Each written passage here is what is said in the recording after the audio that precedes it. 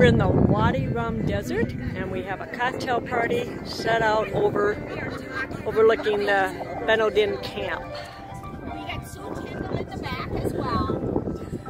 Hello!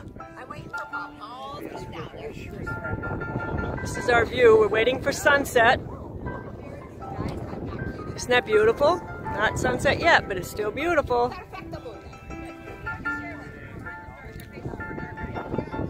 Bye-bye.